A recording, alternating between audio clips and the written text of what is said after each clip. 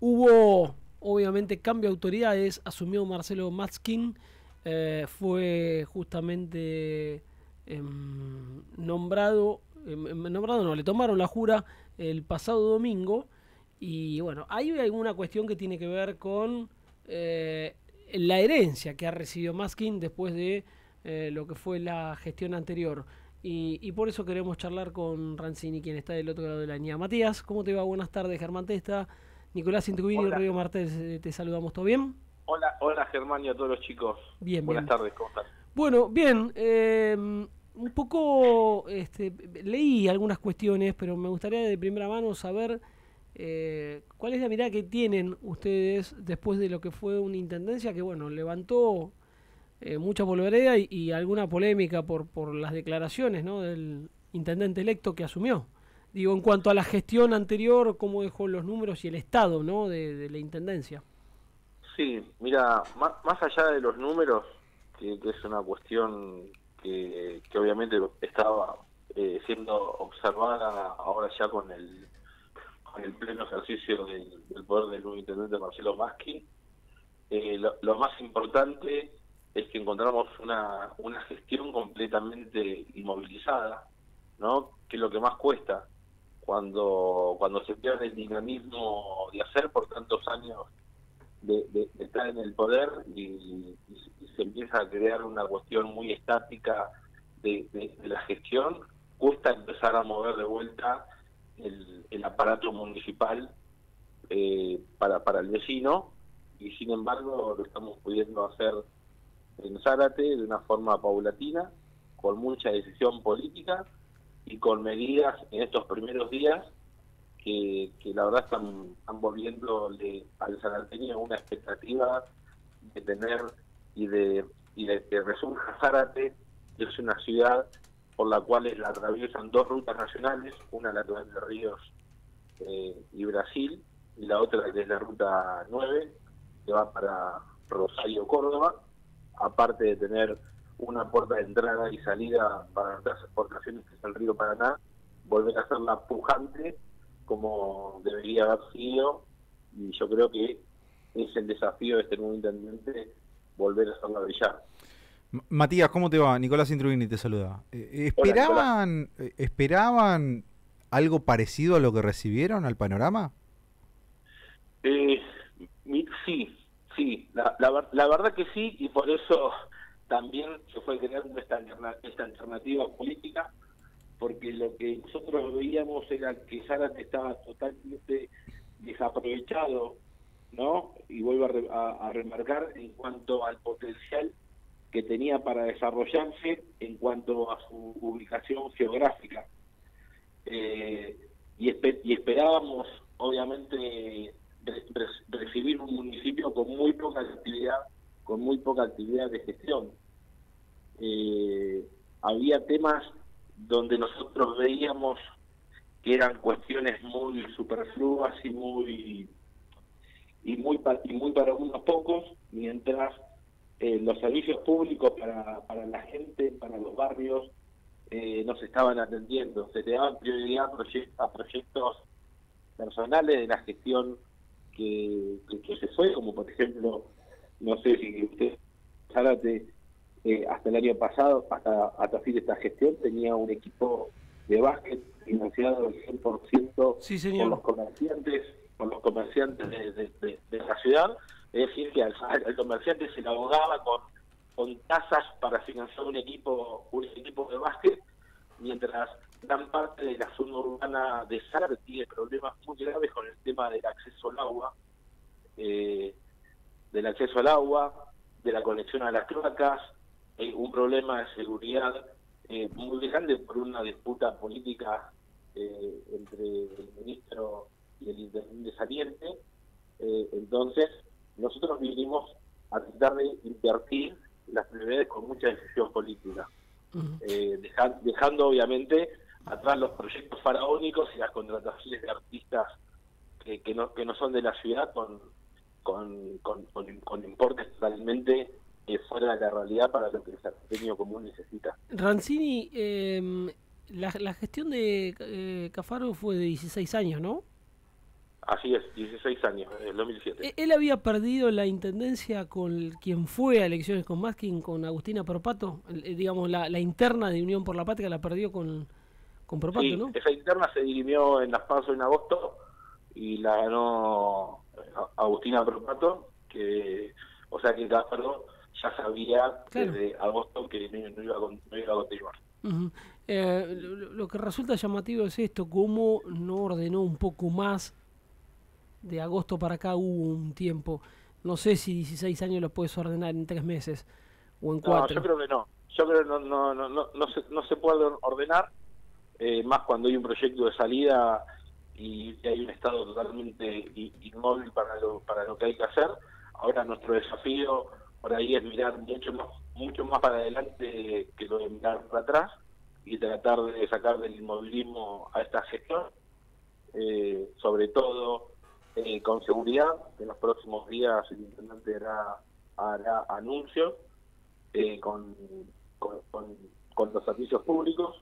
Ahora te va a dejar de disponer la, basura donde se venía haciendo porque no tiene, no tiene habilitación. Vamos a hacer las cosas muy prolijas y, obviamente atendiendo a la, a la legalidad y tratando de mejorar y de desarrollar un, potencial que es la erradicación de industrias para crear fuentes de trabajo eh, con, con incentivos muy fuertes para que las empresas se vengan a erradicar. La verdad que nosotros tenemos en claro que la coyuntura nacional hace que se exhibe un las transferencias de fondos de la nación y de las provincias hacia los municipios en general y, tenemos que apostar por convertir a Zárate en una atracción para la inversión privada eh, ya sabiendo que contamos con importantes industrias automotrices que pueden proveerse de otras industrias conexas para, para que puedan radicarse sin trabas eh, en el partido Zárate. Lo que queremos nosotros es que vengan, ser un municipio amigable y la verdad que, que, en los últimos años hubo muchas empresas que fueron por distintas situaciones nunca esclarecidas y lo que nosotros necesitamos es que la, que la, la política incentive que se vengan a radicar eh, con todas las facilidades eh, para generar puestos de empleo. Eh, Matías, hablaste de falta de brillo, hablaste de desaprovechamiento de la zona donde se encuentran. Ahora estás mencionando el tema de que se amiguen empresas con lo que es Zárate.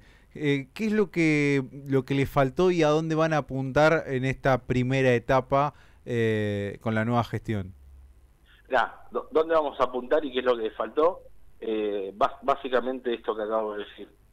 Eh, la, facilidad que tengan las empresas para venir a radicarse. Antes, cuando una empresa venía a, radicarse, se le pedía, eh, a ver, desde colaborar con el equipo de básquet hasta hasta proyectos hasta proyectos sin sentido, cuando en realidad, cuando una empresa se viene a radicar, lo primero que hay que hacer es tratar de garantizar que el zarateño tenga tenga fuentes laborales para acceder. Obviamente el municipio tiene que acompañar la formación en, oficios y la profesionalización de los recursos humanos para que las, las empresas puedan tomar.